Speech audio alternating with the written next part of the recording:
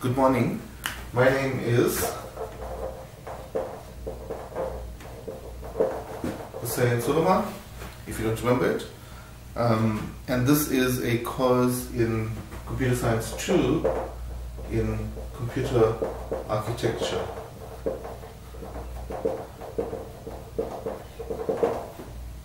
Okay. So you may be wondering why you're watching a video when I am in the classroom with you. Well, that's because this particular course is going to be run a bit differently. We are going to use a technique that you might have seen in some of your other courses. It's something that we call a flipped classroom.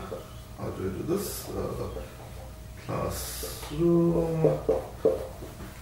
And a flipped classroom is a particular technique where we don't have regular lectures. Instead, what we have is information that you get before the class and you are able to look at this yourself. And then when you come to class, what we will do is we will have a bit of a discussion. So in the particular format that I'm going to be using, we will do a couple of different things.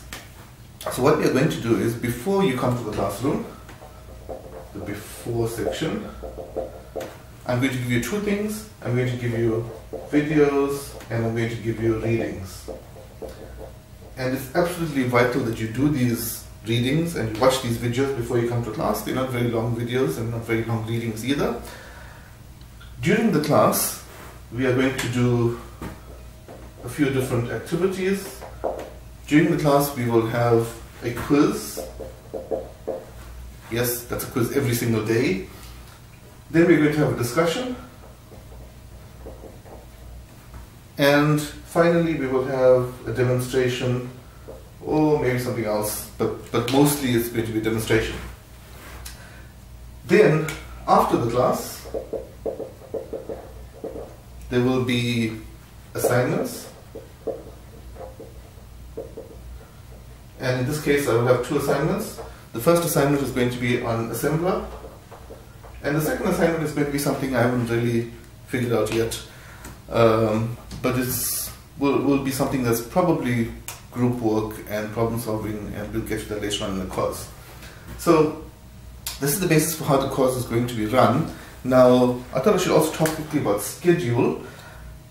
We have a certain number of lectures that they're going to be laid out in a particular way. It's in the course notes, but I'm going to quickly look at it again here. So the lecture structure, let's see if I can just draw a grid quickly that um, for the next couple of weeks will look something like this.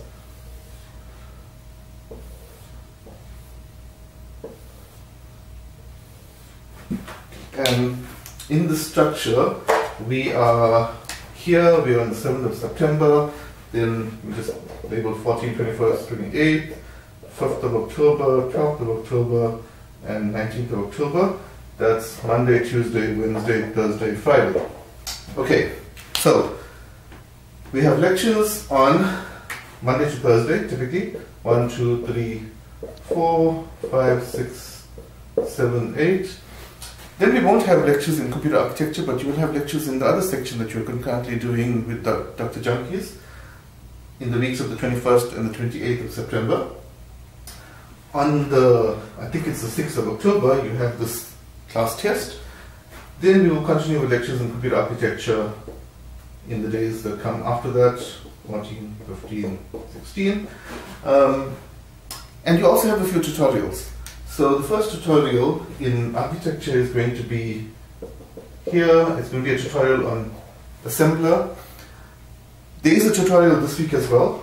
So there will be a tutorial that's actually in mobile application development with Dr. Junkies, but um, that's not related to my section. And we will have a tutorial in all likelihood on the second assignment in the week of the 5th of October. The last Friday, we leave that open for now, right? So that's the structure of what we are going to be doing. This is the content of what we are going to be doing.